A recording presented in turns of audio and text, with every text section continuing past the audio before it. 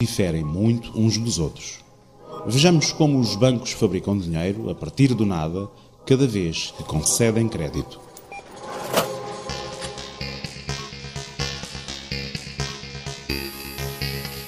Suponha-se que a família A deposita 100 euros num banco comercial, que guardará esse dinheiro. Partindo do princípio que a família que depositou os 100 euros não os levantará nunca de uma só vez, o banco vai investir esse dinheiro. Esse investimento é, de maneira geral, feito sob a forma de empréstimos. Assim, imaginemos que a família B tem a sua conta a zeros e solicita a esse banco um empréstimo. Se a família B mostrar algumas garantias de poder pagar esse empréstimo, então ele será concedido, uma vez que o banco tem interesse em colher os lucros, ou seja, os juros que daí resultam. Evidentemente que o banco empresta todo o dinheiro que tem disponível para maximizar os seus lucros através dos juros.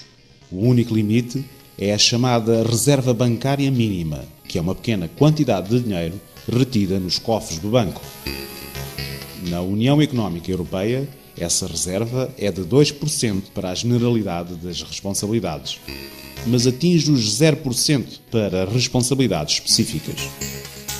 Assim, dos 100 euros inicialmente depositados pela família A, ficam 2% de reserva e 98 euros são emprestados à família B. Isto significa que, como resultado desta operação de crédito, passam a existir na economia mais 98 euros de depósitos à ordem. Uma vez que os depósitos à ordem fazem parte do bolo monetário coletivo, a operação de crédito fez aumentar o estoque de moeda na economia. Temos, portanto, 98 euros depositados e creditados na conta da família B.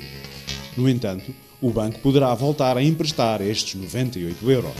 Para tal, ele terá de deixar 2% de reserva irá assim emprestar à família C 96 euros e 4 cêntimos. Estes 96 euros e 4 cêntimos poderão ser novamente emprestados, depositados, creditados e emprestados novamente às famílias D, E, F, G e assim sucessivamente. Se nos centrarmos só nos primeiros dois empréstimos, vimos que dos 100 euros iniciais, 98 euros foram introduzidos no mercado, seguindo-se mais 96 euros e 4 cêntimos. Estamos agora com 194 euros e 4 cêntimos. Este valor é quase o dobro do dinheiro inicialmente depositado. Basta transportar este pequeno exemplo para a escala mundial, contando com produtos financeiros de alto risco de montantes exorbitantes que são diariamente especulados entre os bancos e as grandes multinacionais, para se deduzir a deficiência do sistema e a probabilidade do colapso.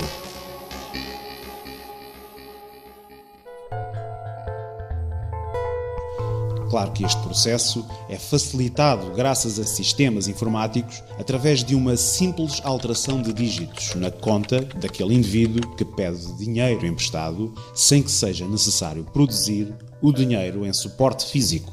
O sistema económico criou, por isso, um mecanismo que facilita a criação e movimentação deste dinheiro digital, pois os bens e serviços podem ser pagos com cheques ou por via eletrónica o dinheiro físico deixou de ter relevância, pois 98% do dinheiro que existe no mundo encontra-se sob a forma de dígitos em computadores. Contudo, este não é o grande problema, já que é pouco importante que o dinheiro se encontre em forma de notas, moedas, dígitos informáticos, cheques ou, se quisermos, em cupões. O problema central é que o dinheiro não entrou em circulação por uma necessidade natural da economia enquanto elemento neutro que serve para trocar os diferentes bens e serviços, mas sim como dívida a juros, perfilada como um negócio lucrativo, centrado no próprio dinheiro.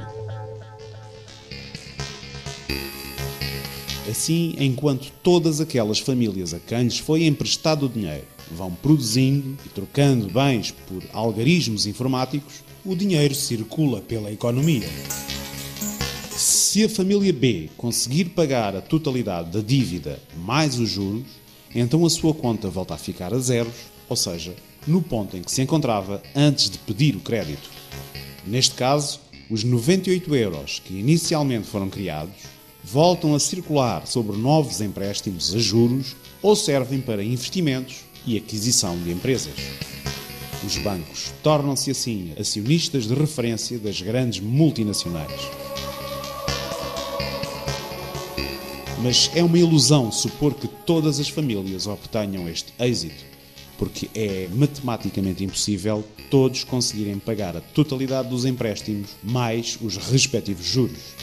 Vejamos, os juros são uma certa percentagem de dinheiro exigida sobre o empréstimo de uma determinada quantidade de dinheiro. Se o dinheiro é todo aquele que existe em circulação, criado através dos empréstimos, de onde vem então o dinheiro para pagar os juros? De lado nenhum, pois este simplesmente não existe.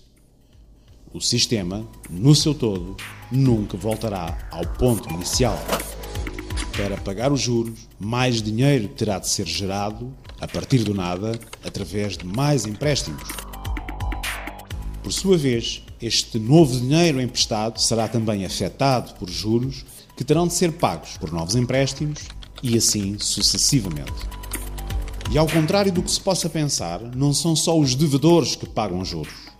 A maioria dos produtos inclui no seu preço final os juros que as empresas devedoras têm de pagar, pois são considerados como uma despesa. Daí os juros serem um problema que atravessa toda a economia e toda a sociedade, sem exceção, sabendo que só uma reduzida minoria tira proveito de tudo isto.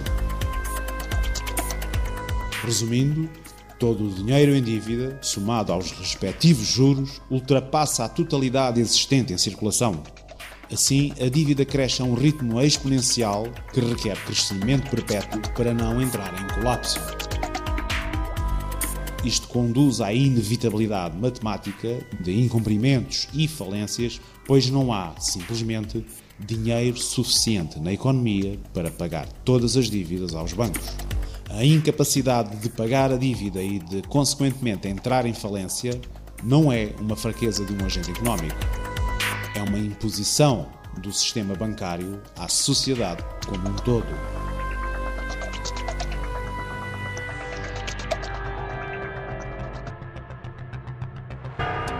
Em vez de se encarar o dinheiro como um simples dispositivo social que se quer estável e num formato neutro que não incorpore nenhum bem ou serviço, os juros corrompem esse princípio, convertendo o dinheiro numa mercadoria lucrativa. Sublinhe-se que o negócio que gira à volta do dinheiro não produz nada e abstrai-se dos princípios que movem o ser humano nas suas necessidades reais. Com este sistema, os bancos enriquecem desmesuradamente.